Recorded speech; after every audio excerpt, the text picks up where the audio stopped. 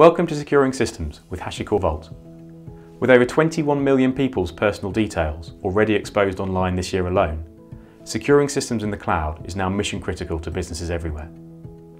This course will help you deliver infrastructure and services in the cloud without the fear of being compromised. For example, by helping you automatically secure access to databases without anybody ever needing to know the credentials. At Go Incremental, we recognise that security is as much about mindset as it is about technology. And this course is designed to cover both the practical techniques and the thinking behind them. My name is David Behensky and I'll be the instructor for this course. The course will teach you both the theoretical concepts of Vault as well as hands-on technical tutorials where you will learn how to install, operate and configure Vault for use in your own cloud systems. The course will contain approximately 5 hours of video content, such as the one you're watching now, as well as narrated slides and screencast tutorials.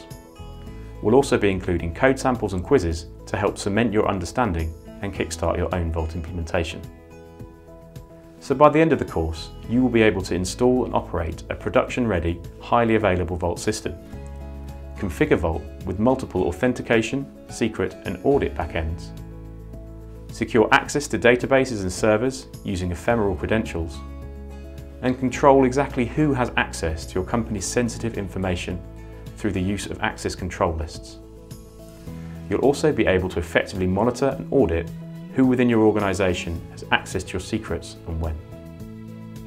The course will also cover how implementing a tool like Vault can help your organisation to meet its compliance requirements for regulations such as Sarbanes-Oxley PCI DSS and HIPAA. So if Vault is a technology you're considering for an upcoming project, or if you're just interested in learning more about the state of the art in secret management, then please consider backing our Kickstarter so that together we can help secure the cloud for everyone.